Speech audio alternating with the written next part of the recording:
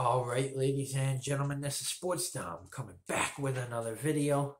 And this is my Arizona Diamondbacks at Cincinnati Reds recap. And Josh Rojas was the offense for the Arizona Diamondbacks. He hit a three run blast, and then he hit a two run blast. And the Arizona Diamondbacks defeat the Cincinnati Reds for their third straight win in a row, three nights in a row. So they lost three in a row, then they win three in a row. They beat the Cincinnati Reds five to three, and the Arizona Diamondbacks are at 500 in spring training. Josh Rojas should make this this team without a doubt. I think Josh Rojas deserves a spot on this team this year. Uh, he's had he's having one hell of a spring just like Jon Duplantier. Um, Dalton Varsho, I think, should be uh, at least a backup catcher, uh, if not, you know, like DH or pinch hitter or something like that.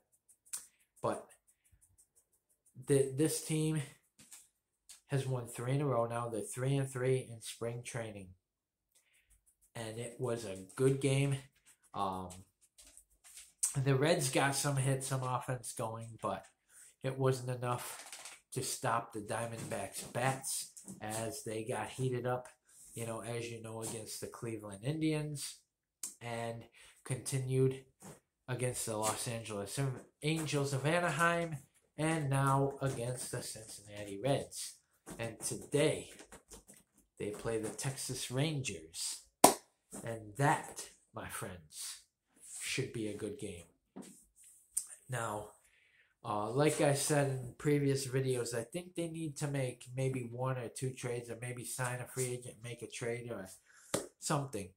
I think they need one more good bullpen arm, uh, someone that can go, you know, a lot of innings in case they get brought in in like the second or third inning. Somebody who can go three, four, maybe five innings.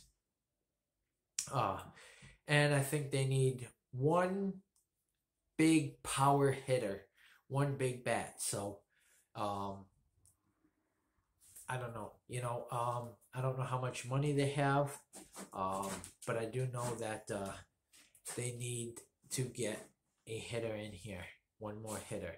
Um, the bats are starting to wake up. Um, you know, and they're missing some key pieces from last year's team, like Jake Lamb. Uh, I think he's with the Atlanta Braves now. Um, they're missing, you know, quite a few. Robbie Ray, who you know was traded to the Toronto Blue Jays. Um, you know, Archie Bradley is no longer the closer.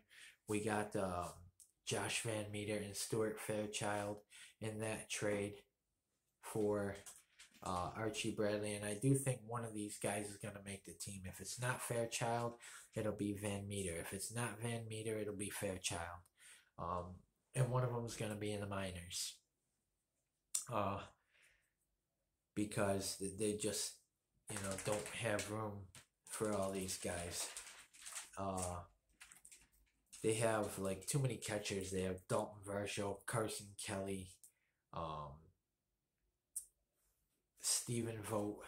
You know, one of them I think uh, has to go. I think they keep uh, either Vogt and Varsho or Kelly and Varsho. Although I don't see him getting rid of Carson Kelly because he was part of that deal uh, that sent Paul Goldschmidt to the St. Louis Cardinals. So um, I, I do think that they need one or two more trades. They need a bullpen arm and they need a bat. But guys, stay tuned for my uh, Texas Rangers Arizona Diamondbacks preview. Uh, Seth Maul was the winning pitcher yesterday. Seth Maul got credited with the win for the Arizona Diamondbacks. So, comment in the comment section down below on what you think. And as always, if you like my videos, like, subscribe, and hit the bell notification so you don't miss a video. This is Sportsdom. Peace! And go Diamondbacks. Let's beat them fucking Texas Rangers and get four straight wins. Let's go! Baseball is here!